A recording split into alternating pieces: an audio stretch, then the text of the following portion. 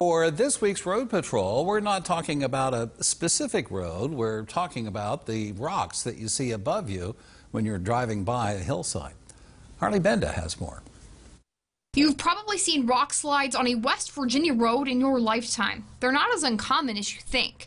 Think about that rock that fell in Morgantown in February of 2020 that crushed a vehicle and ran into a PRT car between WVU's downtown and Evansdale campuses, which injured several people. Well, WVU researchers are hoping to bring rock falls like this one to a stop with some techniques.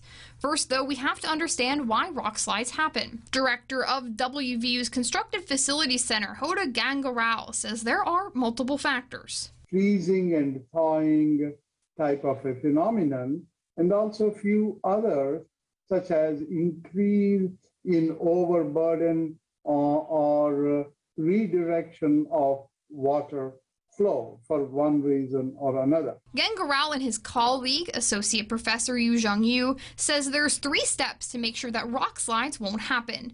The framework is rockfall hazard assessment, prioritization, and sensitivity analysis. The paper basically uh, we uh, presented uh, prioritization framework that uh, prioritize actually that evaluates um, different design options for rock rockfall countermeasures. Every hillside is different though, and there are different methods to keeping the rocks on the hillside where they belong. One of them is you drill horizontally into the rock and then provide some type of a reinforcement into the drilled holes and pump the grout. While the project isn't quite finished yet, the pair are hoping to implement some of their research into West Virginia hillsides by next summer to hopefully protect you and your family driving below. Reporting in Morgantown for this week's 12 News Road Patrol, I'm Harley Benda.